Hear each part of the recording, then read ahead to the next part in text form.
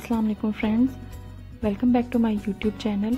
आप देख रहे हैं सेफ्रॉन बाइट्स अगर आपने हमारा चैनल अभी तक सब्सक्राइब नहीं किया तो इसको सब्सक्राइब करें और बेल आइकन को दबाएँ। बिसमीम आज हम बनाने जा रहे हैं एक बहुत ही डिफरेंट सी आइसक्रीम ये आइसक्रीम बनाने के लिए हमें जिन चीज़ों की ज़रूरतें आई उनको देखते हैं। ये आइसक्रीम बनाने के लिए मैंने क्रीम को जो बीट करना है, उसके लिए मैं इलेक्ट्रिक बीटर यूज़ कर रही हूँ। इसलिए जो आगे उनके बीट बीटर हैं, उनको मैंने फ्रीज़र में रखा हुआ था, उनको अच्छी तरह से ठंडा किया हुआ है। उसके बाद जो क्रीम ली है, उसको भी दो से ढाई घंटे के लिए फ्रीज़र में रखा हुआ था और ये अच्छी तरह से ठंडी है चिल्ड हो चुकी है। एक कप मैंने यहाँ पर क्रीम ली है। अब हमने इसको बीट करना है। क्रीम आपकी अच्छी तभी बीट होगी अगर वो चिल्ड है और क्रीम आइसक्रीम बनाने के लिए यूज़ होती है, वो विपिंग क्रीम या हैवी क्रीम यूज़ होती है या फुल फैट क्रीम यूज़ होती है, इसी से अच्छी आइसक्रीम बनती है, वरना आइसक्रीम हार्ड बनती है। तो यहाँ पर जो मैंने क्रीम ली है, वो विपिंग क्रीम है। दो से ढाई मिनट में आपकी क्रीम विप हो जाएगी। इसको हमने इतना विप करना है कि एक सॉफ्ट पीक बने जब हम बीटर को इसमें से निकालें। डेढ़ से दो मिनट के लिए आप हाई स्पीड पर इसको बीट कर सकते हैं।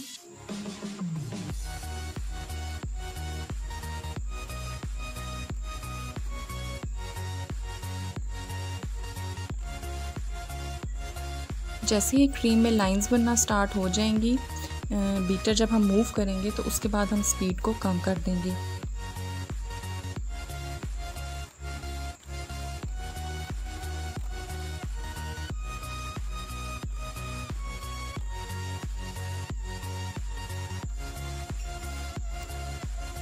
दो मिनट के बाद बीटर को हमने निकाल कर चेक किया था।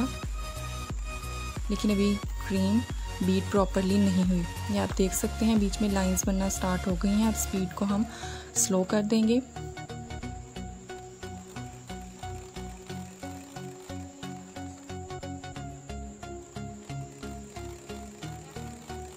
इसको स्लो स्पीड पे इसीलिए बार बार चेक कर रहे हैं, वरना अगर ज़्यादा बीट हो जाएगी तो बिल्कुल बटर टाइप बन जाएगी।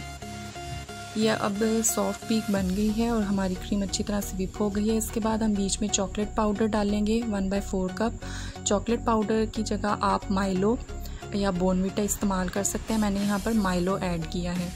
उसके बाद इसमें शामिल करेंगे half cup condense milk condense milk की रेसिपी भी शेयर कर दी गई है और उसका लिंक मैं डिस्क्रिप्शन बॉक्स में डाल दूँगी।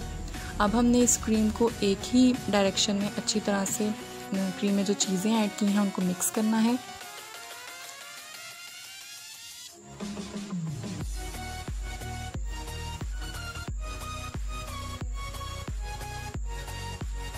हमने बहुत हल्के हाथ से इन चीज़ों को मिक्स करना है ताकि क्रीम का वॉल्यूम कम ना हो। माइलो मिक्स करने के बाद एक प्लास्टिक बैग ले लें।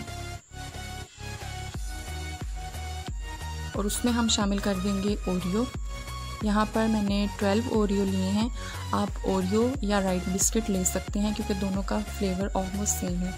अब इनको किसी भी चीज़ से आपने क्रश कर लेना। हमने इनका पाउडर नहीं बनाना, इनको हल्का सा क्रश करना है।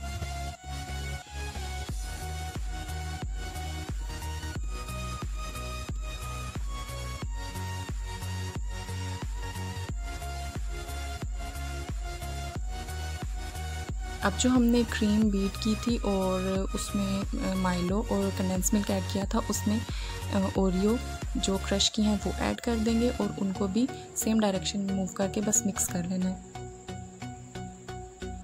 थोड़े से क्रश बिस्किट गार्निशिंग के लिए हमने बचा लिए हैं। अब कोई भी प्लास्टिक का बाउल ले लें जिसमें आपने इस आइसक्रीम के मिक्सचर को फ्रीज़ करना है। तमाम बीट किया हुआ मिक्सचर उसमें ऐड कर दें।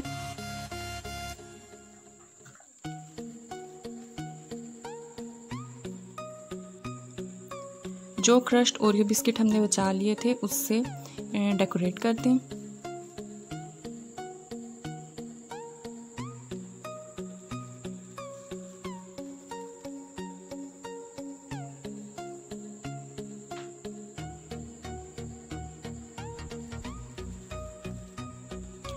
अब इसको बॉक्स को बंद कर दें और इसको एट आवर्स के लिए हमने फ्रीज़र में रख देना है। आठ घंटे के अंदर आपकी आइसक्रीम रेडी हो जाएगी। स्कूपर को आपने गर्म पानी में डाल के रखना है ताकि इजीली स्कूप निकल जाए आइसक्रीम का। हमारी मज़ेदार सी Oreo Milo ice cream ready है।